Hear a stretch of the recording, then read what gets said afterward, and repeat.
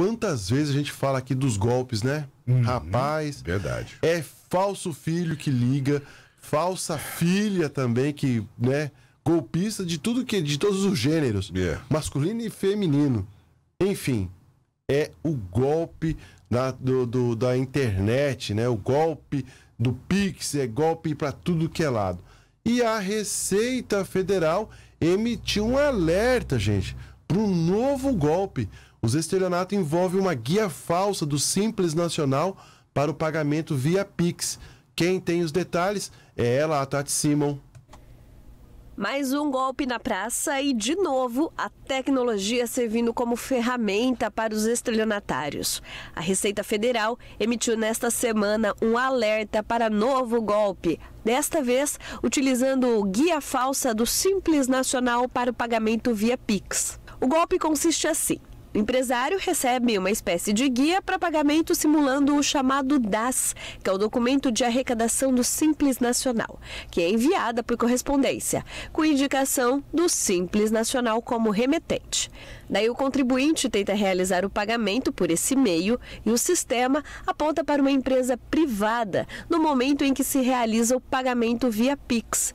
É neste instante que o sistema direciona o pagamento para uma empresa privada denominada Simples Pagamento Online LTDA. Pronto, o empresário caiu no golpe. Desta vez, o alvo são os empresários optantes pelo Simples Nacional.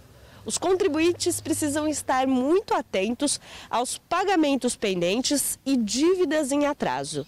Essa checagem deve ser feita sempre no site oficial da própria Receita Federal. As dívidas do Simples Nacional podem ser consultadas no portal ECAC, disponível no site da Receita Federal, ou direto no portal do Simples Nacional. O delegado regional de Polícia Civil de Três Lagoas, Ailton Pereira, destaca que golpes virtuais de estelionato têm aumentado consideravelmente na cidade nos últimos meses e também no caso o estelionato aumentou muito, crimes virtuais. O interessante é não acessar esses links que vem pedindo para que a pessoa acesse com essas promoções absurdas.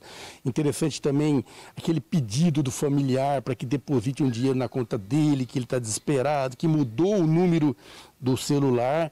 É, é interessante que a, a, pessoa que vai favorecer o parente, a, a suposta vítima, ela já ligue para esse parente né, saber se realmente é ele que está pedindo aquele valor, aquela, aquele valor no, de emergência ali na hora. Porque muitas vezes ela não, não, tem, não se atenta para esse fim e deposita aí na conta do, do malandro, do, do estelionatário. Reaver o dinheiro fraudado é ainda um desafio, conforme explica o advogado criminalista Marcos Acamini. No entanto, segundo ele, a orientação é de sempre registrar boletim de ocorrência e colaborar com a investigação policial apesar das redes sociais, da tecnologia trazer um, uma evolução, um conforto, né, principalmente na, na pandemia, para que a gente possa conversar com familiares mesmo distantes e etc.